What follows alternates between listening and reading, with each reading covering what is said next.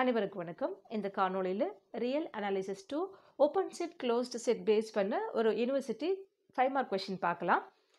Let G be an open subset of the metric space metric then G dash G dash equal to M minus G is closed.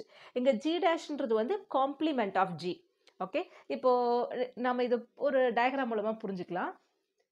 எம்ன்றது தான் metric space okay இதில் இருக்கிற ஒரு subset தான் G இதுதான் subset ஜினா அப்போ எது உங்களுக்கு ஜியோட காம்ப்ளிமெண்ட்டாக இருக்கும் ஜியில் இல்லாத இருக்க எலமெண்ட் எம்மில் இருக்கிற மீதி இருக்கிற எல்லா எலமெண்ட் அப்போ இந்த டாட்டட் ஸ்பேஸ் இருக்கு இல்லையா இதுதான் நமக்கு எதை ரெப்ரசன்ட் பண்ணுதுன்னா ஜி காம்ப்ளிமெண்ட்டை ரெப்ரசன்ட் பண்ணுது. அப்போ ஜியில் இருக்கிற எலமெண்ட் ஜி காம்ப்ளிமெண்ட்டில் இருக்காது. ஜி காம்ப்ளிமெண்ட்டில் இருக்கிற எலமெண்ட் ஜியில் இருக்காது. ஓகே ஆனால் இந்த ரெண்டுத்தையும் நம்ம யூனியன் பண்ணும்போது ஜி யூனியன் ஜி காம்ப்ளிமெண்ட் பண்ணும்போது த ஹோல் மெட்ரிக் ஸ்பேஸ் நமக்கு கிடச்சிடும்.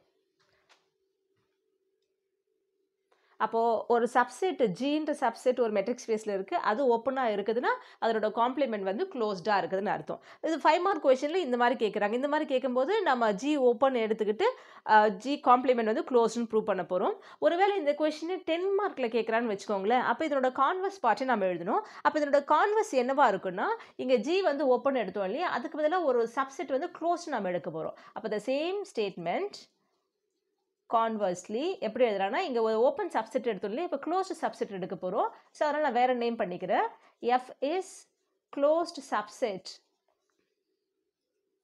closed subset of எம்னா இங்கே எம்ன்றது மெட்ரிக் ஸ்பேஸ் தென் இதனோட காம்ப்ளிமெண்ட் எஃபோட காம்ப்ளிமெண்ட் என்ன எழுதுவோம்? எஃப் டேஷ் இது வந்து எஃப் காம்ப்ளிமெண்ட் அப்போ எஃப் காம்ப்ளிமெண்ட் என்னவாக இருக்கும்? M minus G F closed இதனோட காம்ப்ளிமெண்ட் என்னவாக இருக்கும்?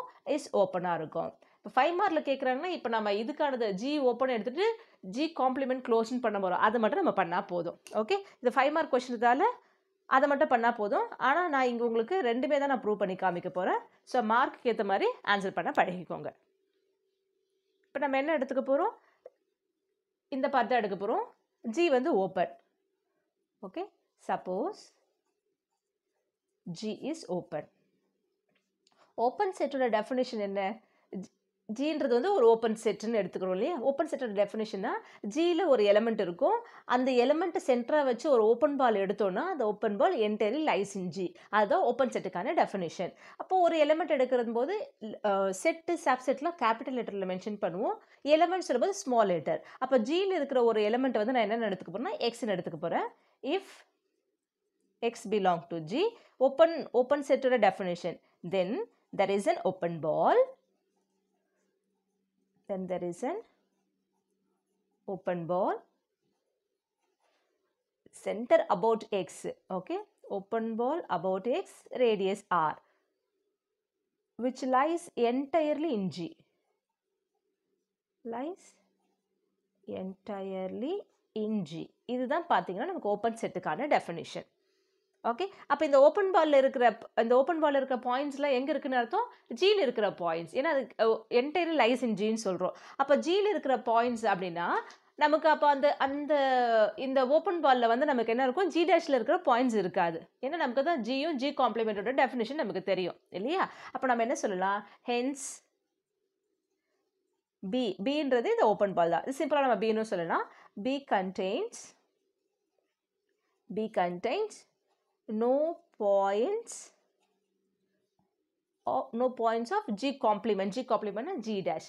Again இந்த மாதிரி ஓப்பன் செட்டு க்ளோஸ்டு செட் வரும்பொழுது நம்ம முக்கியமாக யூஸ் பண்ணுற தியரம் பார்த்தீங்கன்னா theorem five point five D நான் இங்கே பை த தியரம் மட்டும் எழுது நீங்கள் எக்ஸாம்பிள் எழுதும்போது பை த தியரம் மட்டும் எழுதுனா போதும். அந்த இடத்துல தியரம் நம்பர் எழுத வேணாம். ஆனால் உங்களுக்காக நீங்கள் முன்னாடி இருக்கிற விஷயங்கள் பார்க்கணுன்றதுக்காக by the theorem five point five டின்னு கொடுக்குறேன். அங்கே என்ன இருக்கும் உங்களுக்கு? ஒரு சப்செட் இருக்கும். அதை e ஈன்னு எடுத்துப்போம். Subset of a metric space G அது பேசிக்காக இருக்கிற விஷயம். அந்த பேசிக்கான விஷயம் நான் இங்கே எழுதலை. நீங்கள் வேணால் எழுதிக்கலாம். Let E be the subset of the metric ஸ்பேசியம் அங்கே ஆக்சுவலாக நமக்கு தேவையான விஷயம் என்னென்னா எ பாயிண்ட் இந்த எக்ஸ் பிலாங் டு அந்த சப்செட் சொல்கிறேன் இல்லையா? இப்போ x belong to M is a limit point is a limit point of E if and only if என்ன இருக்கும் அப்படின்னா there is an open ball center about x radius r contains at least one point of e. Contains at least one point of e. Okay இதுதான் அந்த- அந்த theorem ஆக்சுவலாக உங்களுக்கு ஃபுல்லாக நீங்கள் எதுனா let E be the subset of the metric space M then the point x belong to M is a is a point இல்லை is a limit point of E is a limit point of E if and only if an open ball center about X contains at least one point of E. Okay. இப்போ எக்ஸ்ன்றது வந்து limit point of இனா limit point of E அது collection of limit points நம்ம என்ன சொல்லுவோம் e இ க்ளோஷர்னு சொல்லுவோம் இல்லையா இது வந்து டேஷ்ன்றது வந்து காம்ப்ளிமெண்ட் பார் வந்து க்ளோஷர் அப்போ த சேம் ஸ்டேட்மெண்ட் எப்படி நம்ம எழுதுறோன்னா x belong to E closure if and only if and open ball about x radius R contains at least one point of E. இதுதான் நம்ம அடிக்கடி யூஸ் பண்ணுவோம். அப்போ இந்த if and one leaf condition என்ன அர்த்தம் if x is a limit point implies there is an open ball contains at least one point of E another வேல எப்படி சொல்லலாம்? And open ball contains at least a point of E இருந்துச்சுன்னா then இந்த X centre about X இருக்குல்ல இந்த எக்ஸ்ன்ற point என்னவா இருக்கும்? Limit point of இயா இருக்கும். இதுதான் இந்த if and only if condition அப்போ இதையே வந்து நெகேஷன் ஸ்டேட்மெண்ட்டாக வச்சு சொல்கிறது அப்படின்னா இப்போ இதை எடுத்துக்கல இந்த பால் இருக்கு இல்லையா? இந்த ball centre about X radius R contains no point of E அப்படி நம்ம எடுக்கிறோன்னா பாயிண்ட் இருந்துச்சுன்னா at least one point of E இருந்துச்சுன்னா அந்த பாயிண்ட் தான் லிமிட் பாயிண்ட் அப்போ பாயிண்ட் ஆஃப் இ இல்லைன்னா அந்த பாயிண்ட் வந்து லிமிட் பாயிண்ட்டாக இருக்க முடியாது. எந்தது? எக்ஸ்ன்றது லிமிட் பாயிண்ட்டாக இருக்க முடியாது. இப்போ நமக்கு ஜி காம்ப்ளிமெண்ட்டோட டெஃபினேஷன் என்ன?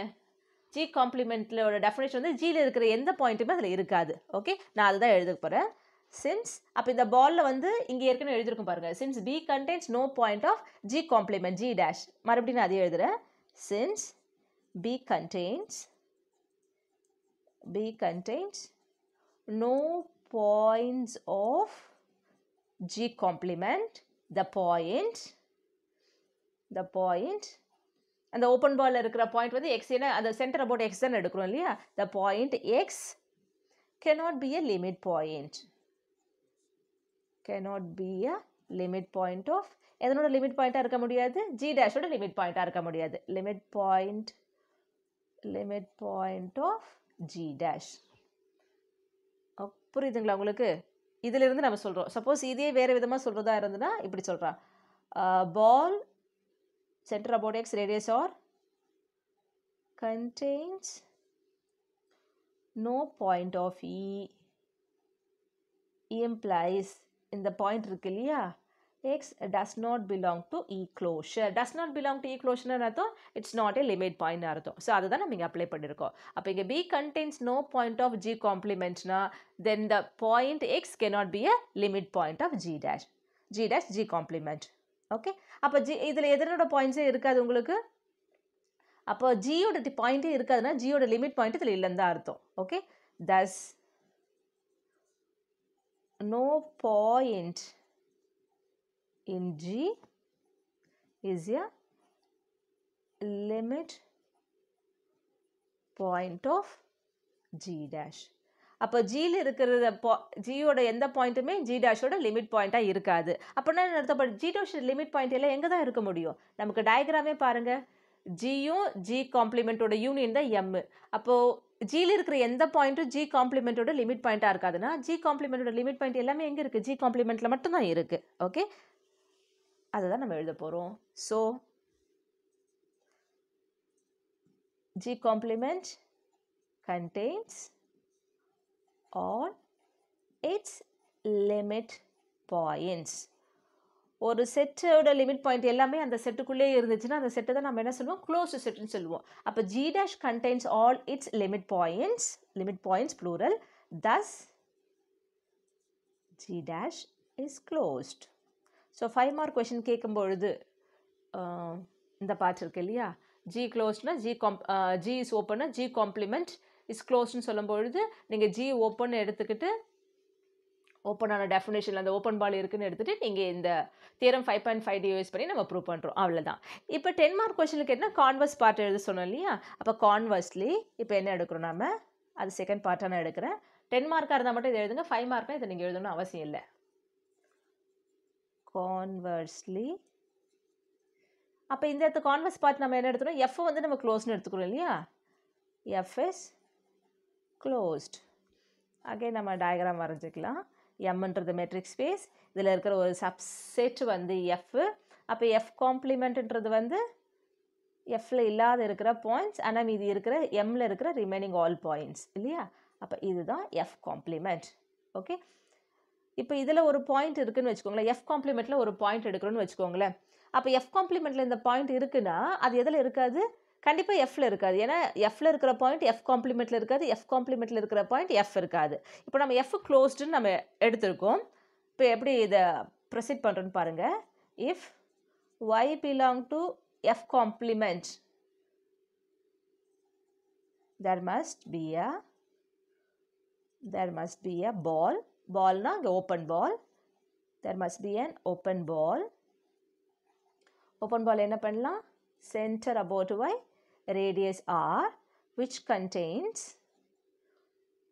இதில் இருக்கிற பாயிண்ட்ஸ் எல்லாம் இதில் இருக்கும் எஃப் டேஷில் இருக்கிற பாயிண்ட் தான் இருக்கும் எஃப்ல இருக்கிற பாயிண்ட்ஸ் இருக்காது which contains which contains no points of F ஒருவேளை எஃபோட பாயிண்ட்ஸ் இதில் இருக்குன்னு வச்சுக்கோங்களேன். அப்போ அது என்னவா இருக்கும்னு சொல்லுங்க? அதர்வைஸ் அதர்வைஸ் ஒய்ன்றது என்னவா இருக்கும்னா Y would be a limit point of F limit point of F limit point ஏன்னா இது நோ பாயிண்ட் ஆஃப் எஃப் ஒருவேளை இந்த ball contains the point of எஃப்ஆ இருந்துச்சுன்னா again by theorem five point five T தான். இந்த ball contains a point at least one point of எஃப்னா இந்த ஒய்ன்ற point என்னவா இருக்கும்? லிமிட் பாயிண்ட்டாக இருக்கும். அதை தான் இங்கே எழுதியிருக்கோம். Otherwise Y would be a limit point of F அப்போ ஒய் வந்து லிமிட் பாயிண்ட் ஆஃப் எஃப்னா நமக்கு என்ன கிடைக்கிறதுலேருந்து we have Y belong to F okay ஆனால் this is the contradiction which contradicts எதை கான்ட்ரடிக்ட் பண்ணுது? Which contradicts Y belong to F complement ஏன்னா காம்ப்ளிமெண்ட்டோட டெஃபினிஷனு காம்ப்ளிமெண்ட்டில் இருந்துச்சுன்னா அதோட செட்டில் இருக்காதுன்னு தான் அர்த்தம். ஓகே அப்படின்னா அப்போ இதுலேருந்து நமக்கு என்ன தெரியுது? Thus for every thus for every Y belong to F complement there is a ball பால்னாலே இது ஓப்பன் பால் தான். Ball radius about uh, sorry center about y radius or entirely contains entirely contains in f dash. So ஒரு open ball entirely contains in F டேஷ்னா இந்த F dash என்னவா இருக்கும் உங்களுக்கு? ஓப்பனாக இருக்கும். So this implies F complement is open okay F க்ளோஸ்னு எடுத்துக்கிட்டு F complement நம்ம open prove பண்ணிட்டோம். ஓகே அடுத்த காணொலியில் பார்க்கலாம். நன்றி வணக்கம்.